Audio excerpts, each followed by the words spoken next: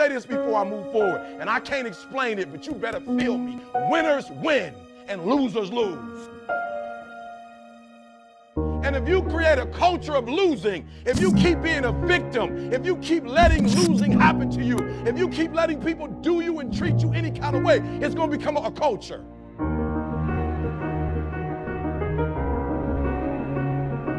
Every single day, I'm going to do everything in my power to become a victor and not a victim.